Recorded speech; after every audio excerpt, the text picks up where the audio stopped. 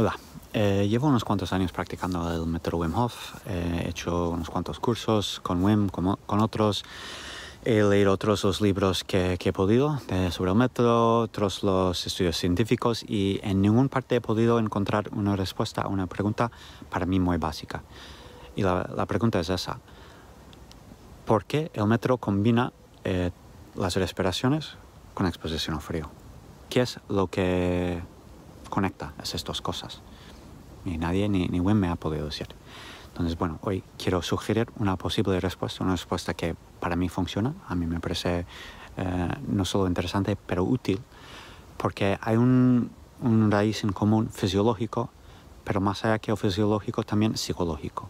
Si has visto otros videos míos, sabrás que los aspectos psicológicos del método son para mí los más importantes. Y creo que si ponemos el enfoque ahí, puede llegar a ser una herramienta muy eficaz para ayudarnos a explorar nuestra vida interior y potencialmente transformar cómo funcionamos en este mundo. Para entender qué es lo que pasa aquí, yo creo que la manera más fácil tal vez es mirar una serie de reflejos naturales que tenemos que se llama el reflejo mamífero de apnea.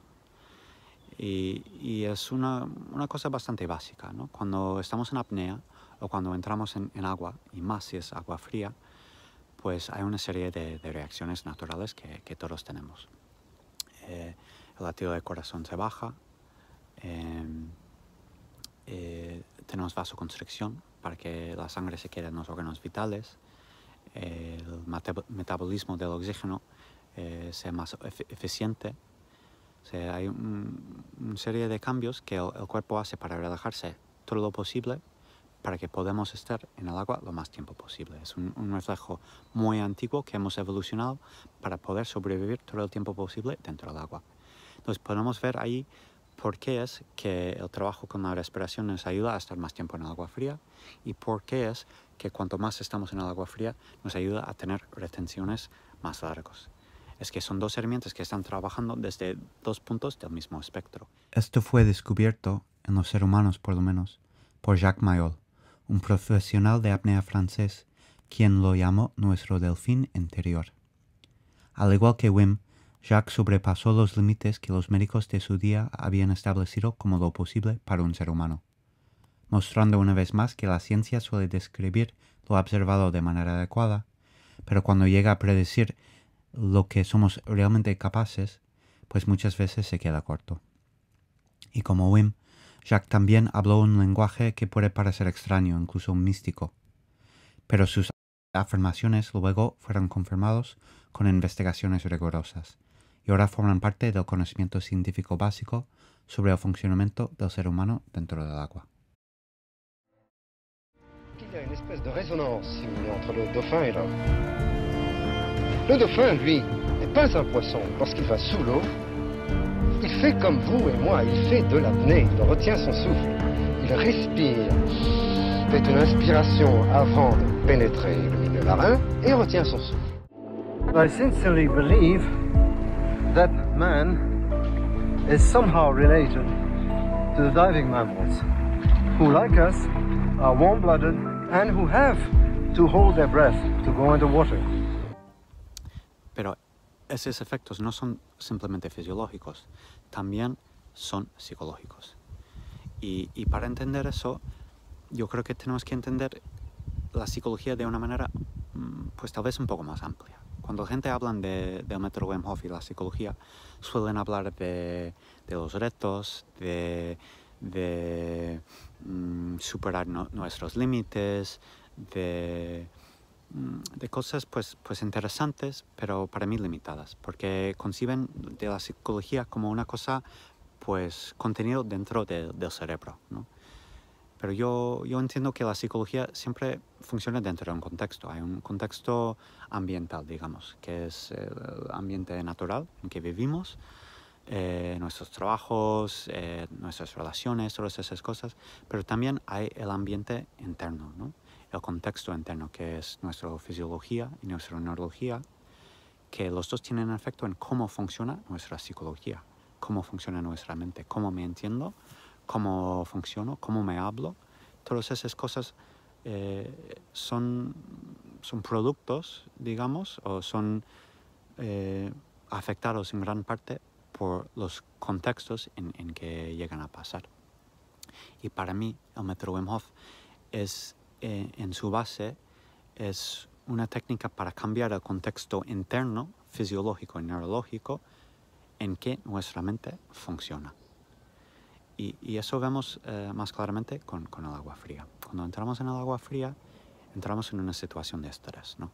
Eh, los niveles de adrenalina suben a, a niveles muy altos y, y, nuestro cuerpo interpreta como si fuese un, un, peligro vital. Pero a la vez estamos activando el reflejo mamífero de apnea. Es decir, nuestras pulsaciones están bajando, eh, hay vasoconstricción eh, y, y, el cuerpo está mandando un, un, señal a estar relajado. Tenemos el estrés, pero estamos relajados a nivel casi automático. Entonces, poco a poco vamos cambiando la relación entre estímulo y reacción. Vamos aumentando nuestra capacidad fisiológica de reaccionar de otra manera frente a situaciones estresantes. Y lo mismo pasa con, con las respiraciones. Cuando hiperventilamos, nuestro cuerpo interpreta eso como, como un estrés.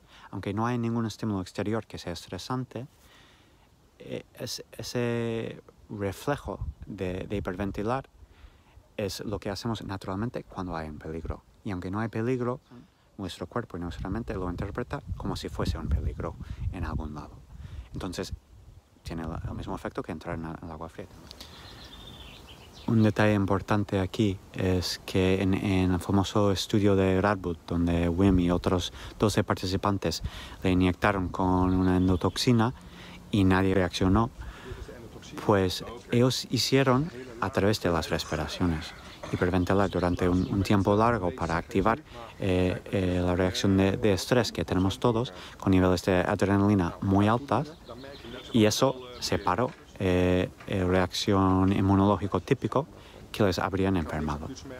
Entonces, esa capacidad que, que WIM tiene, casi supernatural, que digamos, para, para controlar su, sistema inmunológico, realmente es eso, es respirar. Pero cuando estamos hiperventilando durante un tiempo, también estamos echando todo nuestro carbono dióxido. Y eso luego nos permite a, a estar en retención de apnea mucho más tiempo que eso eh, nos permite relajar a niveles mucho más profundos. Tenemos pulsaciones muy bajas otra vez, todo el cuerpo está relajado. Entonces, en, en, los dos contextos estamos, por un lado, activando el reflejo de estrés y por otro lado, activando el reflejo mamífero de apnea que nos relaja todo el sistema. Y para, para, que ese ejemplo sea un poco más claro, pues podemos recordar que, que una, una, manera de tratar la ansiedad muy común y muy eficaz es, es respirar en, en, una bolsa de papel. ¿Y eso qué hace? Pues reduce los niveles de oxígeno, aumenta los niveles de carbono dióxido y simula más o menos un, un estado de apnea. Es, es una manera de activar el reflejo mamífero de apnea y, y, todas las consecuencias, tanto fisiológicos como, psicológicos, de relajación que, que conlleva. Y, y, lo mismo con, con agua fría. En, eh, cuando alguien tiene un ataque de ansiedad, se puede parar eh, echando agua fría a la, a la, cara. Y no solo a la cara, pero justo aquí, donde tenemos el, el nervio trigémino, que, que, es lo que activa el reflejo mamífero de apnea. Eso hay, hay muchos estudios que, que demuestran eso. Entonces yo creo que se puede ver de manera bastante clara que, que el método Wim Hof en su esencia, eh, en términos psicológicos por lo menos, es, es un juego de extremos. Eh, es, es, una manera de, de enseñarnos a, a, a, ir a un extremo de, de, estrés y volver a un extremo de relajación. Y si, si lo hacemos con continuidad, pues todo el sistema llega a ser más robusta y, y tiene más capacidad en otros momentos de estrés para encontrar ese estado de paz. Y, y eso para mí es, es lo más importante de, del método, porque si ponemos eso como nuestro enfoque principal cuando estamos haciendo la práctica, pues eh, yo creo que podemos potenciar nuestras capacidades mucho más allá que lo automático.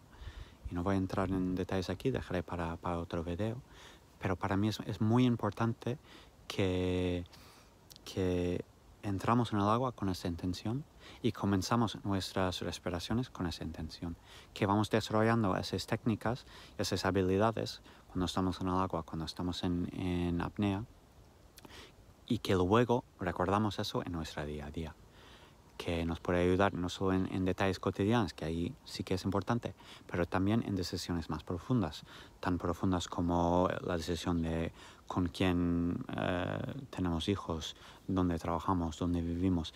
Ese tipo, ese tipo de decisión muchas veces de manera subconsciente eh, permitimos que sea dirigido por, por, nuestros miedos, por nuestras reacciones automáticas frente a peligros reales o, o imaginados.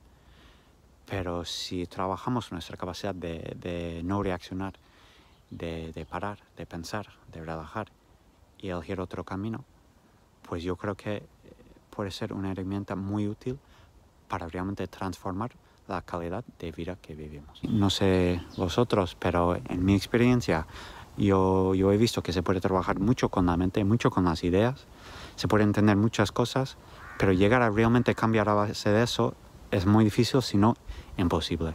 Tenemos que tener el añadido de lo fisiológico para realmente llegar a hacer los cambios que queremos hacer en nuestras vidas. Y bueno, lo dejo ahí para hoy. Si os ha parecido interesante, pues dame un thumbs up, eh, suscribir al canal, compartir con los amigos, déjame un comentario, lo que sea. Y, y nada, gracias por ver y hasta la próxima.